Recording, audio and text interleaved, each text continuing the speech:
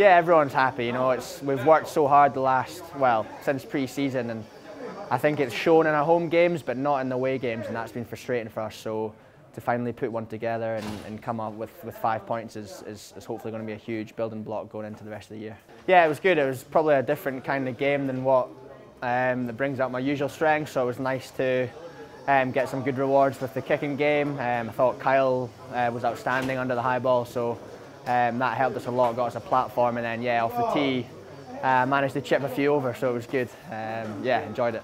Just the impact of the fours in the second half.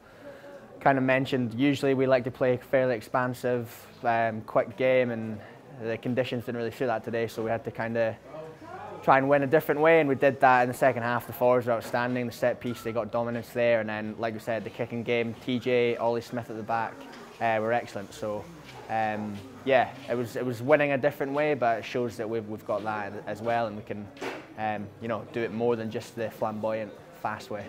Yeah, it's exciting moving into Europe. Um, Bath, obviously, going to be a really cool place to play, historic ground.